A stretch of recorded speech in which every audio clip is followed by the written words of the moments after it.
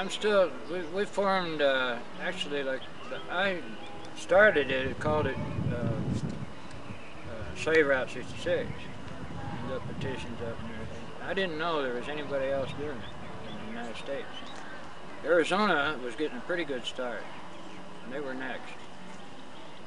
And then I saw that there were uh, other organizations, and I thought, wow, you know, everybody's got to stay together. This has got to be continuity of every state. The same, the, the signs designed the same, the historic route, so that tourists can recognize it, and people are looking, still looking too. But then they were really looking for 66, and they couldn't find it because they would not mark it or anything. They didn't, it was just not done, and so finally all the all the uh, organizations got stronger and stronger and stronger, and it started making some sense to the powers that be, and uh, that that did it. So now signs are being stolen, but that's no good. That's no good at all. And uh, we've decided to start trying to get them to stencil the signs on the highway. That way they won't steal the highway, maybe.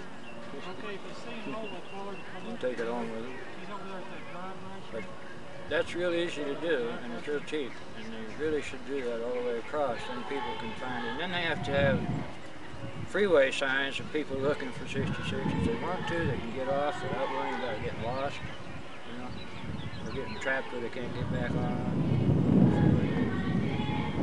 They'll stop, and they'll spend a couple of dollars for donut, coffee, or whatever, you know. It, it just the old the old towns that weren't there until 66 came through. The towns actually moved over to Route 66 for the business.